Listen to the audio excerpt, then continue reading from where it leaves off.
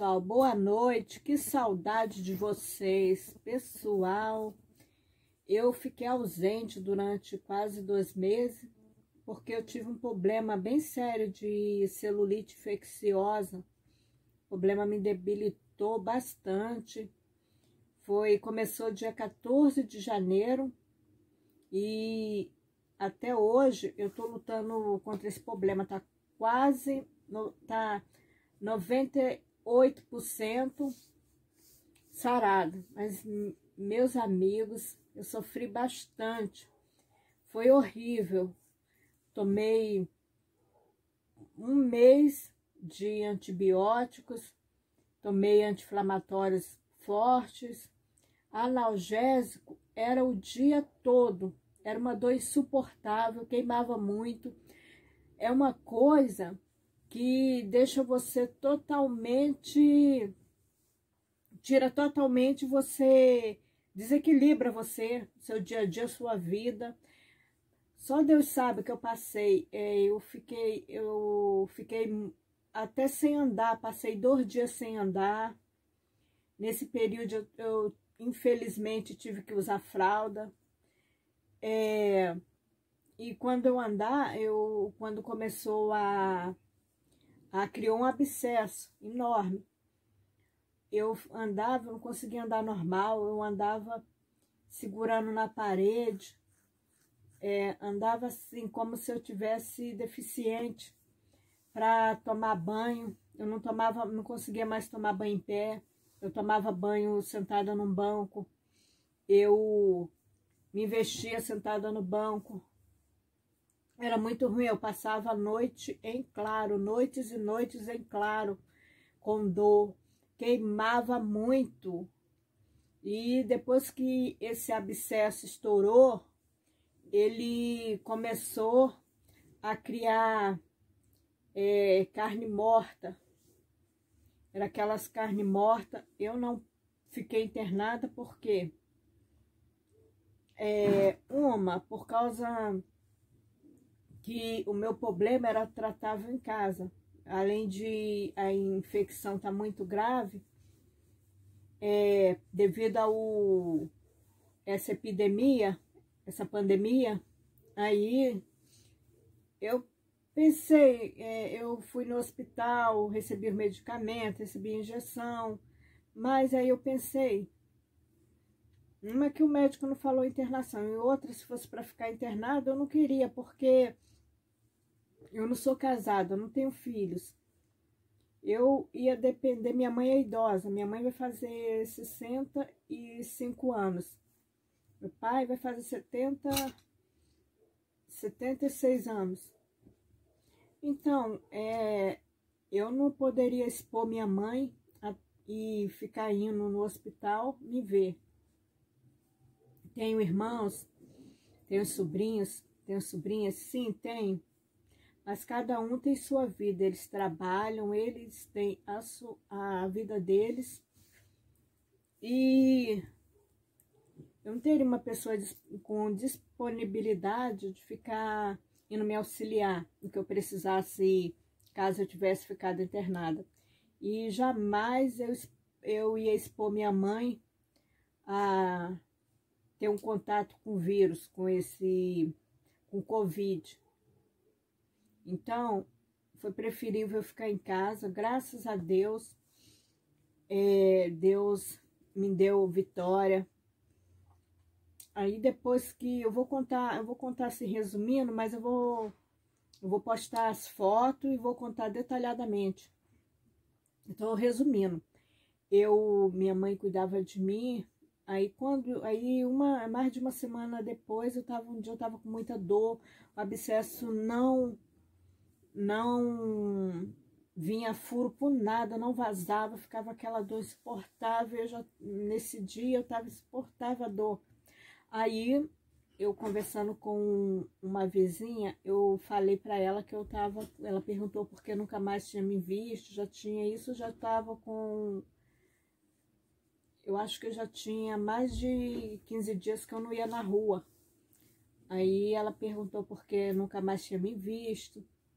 Aí eu falei para ela, não, não, quase ninguém, eu relatei o que eu estava passando, porque nem todo mundo que come no prato com você é por você, nem todo mundo que te abraça e bate nas tuas costas e sorri para você é seu amigo. Então, é, eu não gosto de expor minha vida para dar combustível às pessoas que não gostam de mim. Porque nem Jesus Cristo agradou todo mundo, então não sou eu que vou agradar.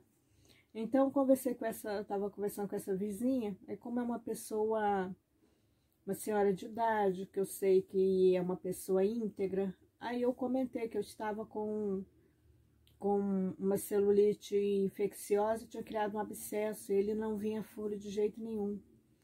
Então ela falou para mim que ela tinha tido um furúnculo e tinha uma pomada. Aí ela perguntou para mim, olha, eu vou ver aqui se eu tenho a pomada, é, eu vou mandar para você. Você quer? Eu falei, se a senhora, se, não, se a senhora não for usar, eu quero.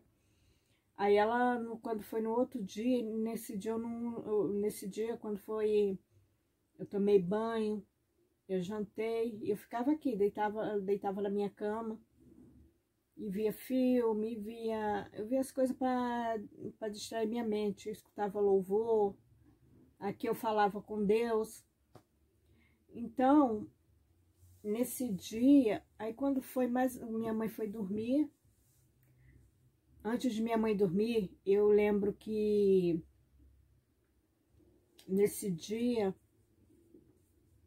nesse dia, nesse dia eu dormi sozinha aqui no quarto, porque eu tinha um sobrinho que estava ficando aqui, estava de férias, de férias não, estava passando tempo aqui e dormia aqui nessa cama do lado. Então, eu nesse dia ela tinha dormido na casa, tinha ido dormir com minha outra sobrinha. Então, nesse dia eu estava sozinha. A minha mãe foi. Minha mãe ia dormir, eu tinha ido, eu tinha pegado água, acho que ela trouxe a água. Aí eu tava com vontade de, de ir no banheiro. Tinha bebido muita água, eu queria urinar. Aí eu tentei. Isso ela foi dormir, era meia-noite. Aí, aí eu tava vendo um filme. Aí eu falei para ela, ela falou, aí ela fechou a porta eu falei bem assim, ó oh, mãe, a senhora desliga a televisão, tira a tomada, porque o filme nem tinha acabado, porque eu tô com tanta dor que eu não vou conseguir ficar me levantando para para tirar a tomada, tô com muita dor. Ela foi, desligou a televisão, tirou a tomada e apagou a luz. Eu fiquei aqui, mas eu e aquela vontade de de ir no banheiro aumentava, aumentava. Eu, aí quando foi mais ou menos uma hora da manhã, eu tentei me levantar para ir no banheiro, não consegui. Duas, três horas, quatro horas, eu consegui me levantar para ir no banheiro. Foi cinco horas da manhã, que eu já tinha tomado é, é, analgésico a noite quase toda. E nessa hora deu uma aliviada, eu consegui, eu fui me arrastando. Segurava na cama, segurava na cômoda, na porta. Aí fui segurando as paredes. Aí eu ia curvada, assim, curvada, com as pernas curvadas mesmo. Aí eu fui, aí eu fui, tudo bem, fui, eu tentei dormir, eu não consegui. Depois que eu voltei do banheiro, mas eu sentia tanta dor, mas tanta dor, tanta dor na perna, que era insuportável. Aí eu, fiquei com, eu, eu chorava de dor. Eu pedi, ai meu Deus, eu pedi a Deus, ai Senhor, é, é, é, me leva daqui, me faz desmaiar, mas pelo amor de Deus, pela tua misericórdia, eu não aguento mais essa dor. Era uma dor, era uma coisa desesperada, uma coisa desesperadora mesmo. Então, eu fui, nesse dia, aí eu esperei, quando foi nove horas, oito horas da manhã, minha mãe, minha mãe levantou. Aí ela veio aqui, eu tava chorando de dor. Aí meus irmãos tinham ido trabalhar e aqui na minha casa tem escada tanto na para subir para a porta da tem tanto é, em cima é a garagem que fica no nível da rua. Então, para mim sair de casa, eu teria que subir uma escada. Eu não tava conseguindo subir. Aí minha mãe foi aí minha mãe foi nesse dia, minha mãe precisava ir na rua. Aí ela foi. Essa vizinha que falou que ia me mandar pomada, ela mandou mensagem no zap, eu tava com muita dor. Só que eu não ia falar pra mulher, ah, eu tô aqui morrendo de dor. Aí ela falou, olha, eu tentei é, pedir para um mototáxi, alguém levar a pomada, eu não tô achando ninguém. Aí eu falei, olha, minha mãe vai na rua e ela vai passar aí. Aí minha mãe desceu com a vizinha e foi na, precisava ir na rua porque eu não podia ir, eu tava impossibilitada de sair. Então ela foi. Ela foi ela chegou mais ou menos umas 11 horas. Aí eu já não aguentava mais com vontade de ir no banheiro e a perna estava doendo muito. Aí eu chorava, minha mãe chegou chorando, chorando, chorando. Aí minha mãe trouxe uma, essa Novalgina, uma grama, que aquelas, aquelas de 500 gramas não estava mais fazendo efeito. Aí eu tomei uma, e, e nada de parar, eu falei, mãe, me ajuda, que me ajuda me pôr sentada aqui na cama, que eu quero ir no banheiro, não tô aguentando mais, minha bexiga tá cheia, vou fazer xixi na cama. Aí ela me ajudou, aí eu não consegui, mas aí, aí nesse momento, eu já tinha tentado ir no banheiro antes dela chegar, que só ficou eu e meu pai em casa. Eu não consegui, eu não conseguia sentar. Aí eu consegui sentar na minha cama. Aí quando eu tentei ficar em pé, eu já não conseguia. É aquela dor, aquela dor, aquela dor. É, é uma dor. Eu nunca tinha sentido tanta dor igual naquele dia. Eu comecei a chorar e ela pegou dois banquinhos. Aí era um sacrifício para mim conseguir passar de um banco para outro. E assim eu fui. O, o aqui, ó, para vocês terem uma ideia, aqui é meu quarto, essa parede aqui, ó, já é o banheiro. Essa parede daqui, ó que atrás já é o banheiro. A senhora sair na porta e entrar na outra porta. E mesmo assim, eu não consegui. E foi uma coisa horrível, era uma dor tão grande. Aí eu fui, eu levei mais de meia hora para chegar aqui, ó, do lado do banheiro. Aí eu fui, aí eu chorava de dor, comecei, eu chorava, eu chorava, eu chorava, eu chorava tanto que depois eu nem chorava mais, eu comecei a gritar.